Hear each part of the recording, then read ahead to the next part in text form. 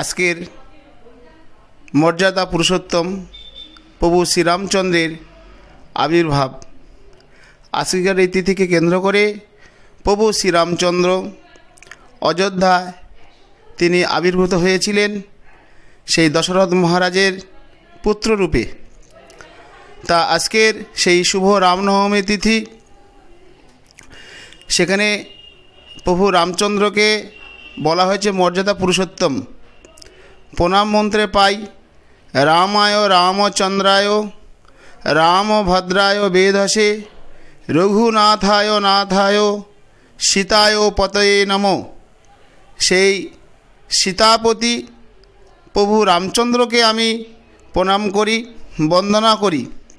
আজকের গৌরী বেদান্ত সমিতির প্রচারক, পরম পূজ্যবাদ ভক্তিবেদান্ত মহাযোগী মহারাজ প্রভু শ্রীরামচন্দ্রের সম্পর্কে তিনি বলবেন, তার মুখ দিয়ে আমরা শ্রবণ করব। হরে কৃষ্ণ। গ্রহবে গৌরচন্দ্রায় রাধিকায় তদালয়ে কৃষ্ণায় কৃষ্ণ ভক্তায় তদ্ভক্তায় নম নম। আজকে শ্রী মর্যাদা পুরুষোত্তম ভগবান রামচন্দ্রের শুভ আবির্ভাব তিথি। এই আবির্ভাব তিথি সম্পর্কে কিছু পৌরাণিক উপাখ্যান আছে। এক সময় শ্রী অযোধ্যায় অনাবৃষ্টি হয়। কোনো একজন সাধু সজ্জন, তিনি বললেন, কোনো ব্রহ্মচারী সন্ন্যাসী যদি অযোধ্যায় পদার্পণ করেন, তাহলে এখানে বৃষ্টি বর্ষণ হবে।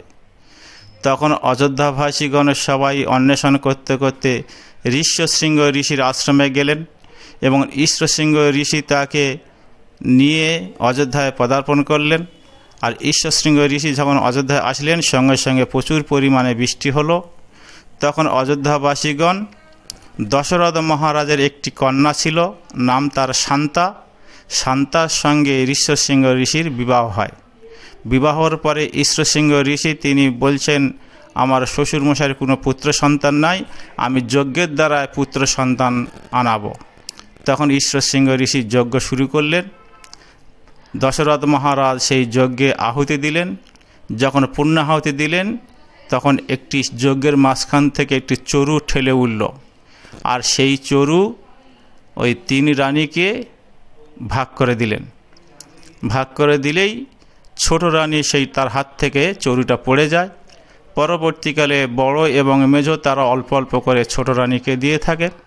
এই জন্যে স্বয়ং ভগবান একজনই চার অংশে চারি ভাই রূপে, অযোধ্যায় দশরথ মহারাজের পুত্ররূপে আবির্ভূত হন এবং মর্যাদা রক্ষা করার জন্য তিনি মর্যাদা পুরুষোত্তম, তিনি জগতে শিক্ষা দিলেন। আপনি আচরি ধর্ম জীবের শিখায়, আপনি না কইলে ধর্ম শিখানো না যায়।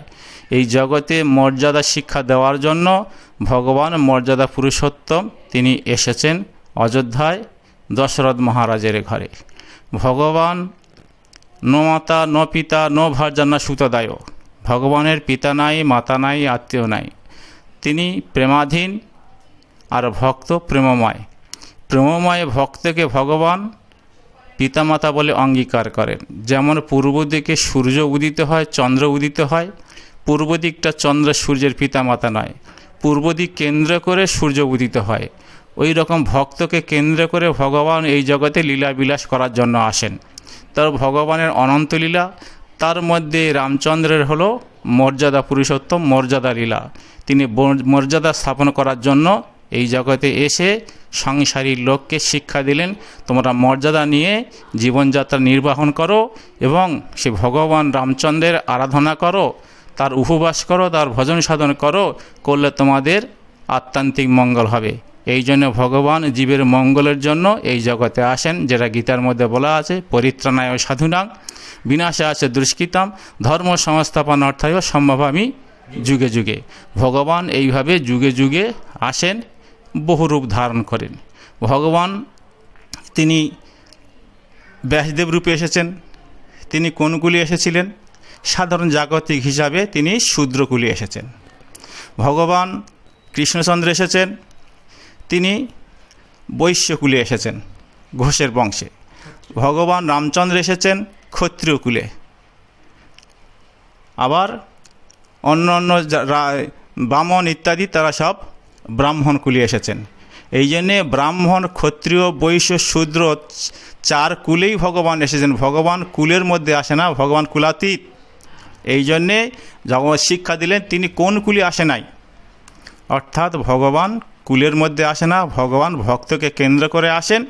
এই জন্যে আপনারা সবাই সেই ভগবান মর্যাদা পুরুষোত্তমের গুণগান করুন। গুণগান করলে আপনাদের আত্মান্তিক মঙ্গল হবে। জয় শ্রীরাম বাঞ্ছা কল্পতরু ভস্য কৃপা সিন্ধু ভয়ে বচ, পরিতানাং পাবনেভ্য, বৈষ্ণবেভ্য নম নম। হরে কৃষ্ণ। আপনারা প্রভু শ্রীরামচন্দ্রের সম্পর্কে কথা শুনলেন, শ্রীরামচন্দ্রের মহিমা।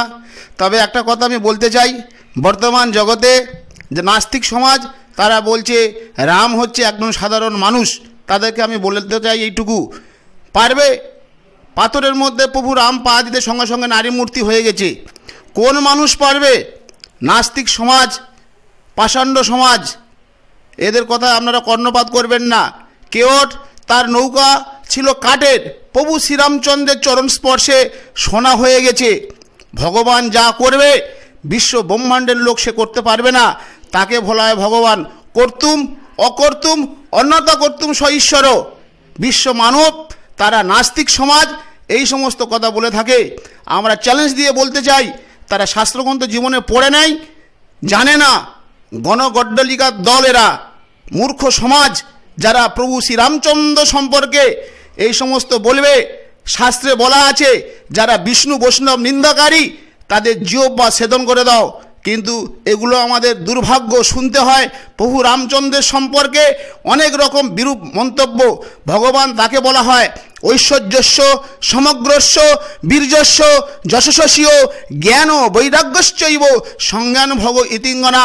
এই ষড়ৈশ্বর্যপূর্ণ যার মধ্যে আছেন তিনি হচ্ছেন ভগবান। সেই গুণ ছিল প্রভু শ্রীরামচন্দ্রের মধ্যে। আজকের প্রভু শ্রীরামচন্দ্র তিনি আবির্ভূত হয়েছেন। আমাদেরকে কৃপা করার জন্য আজকে সেই অযোধ্যায় একটা আনন্দের বিষয়, সেই প্রভুর সেই রাম জন্মভূমিতে আজকের প্রভু শ্রীরামের মন্দির নির্মাণ হচ্ছে।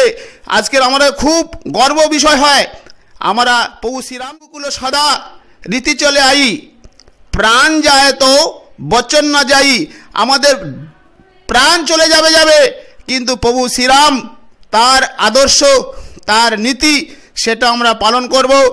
আমাদের সেই প্রভুর রামচন্দ্র, তিনি আমাদের প্রতি প্রসন্ন হন। হনুমান মহারাজ, তিনি রামচন্দ্রের কৃপা লাভ করেছিলেন। তিনি জয় শ্রীরাম বলে সমুদ্র পাড়ি দিয়েছিলেন। কিন্তু দুর্ভাগ্যের বিষয়, এই জয় শ্রীরাম আজকের বলতে গেলে আমাদেরকে বিভিন্ন রকম ধরনের তকমা লাগায়। সাম্প্রদায়িক হিসাবে আমি বলতে চাই, প্রভু আমাদের রাম পিতা, পিতার নাম নিতে আমরা ভয় করি না। যদি হিম্মত থাকে, আমি বললাম প্রভু রাম, আমরা বলব, জয় শ্রীরাম বলব। আপনারাও বলুন, জয় শ্রীরাম, চন্দ্র ভগবান কি? জয় পবন সুত হনুমান মহারাজ কি? অযোধ্যা ধাম কি? জয় শ্রীরাম।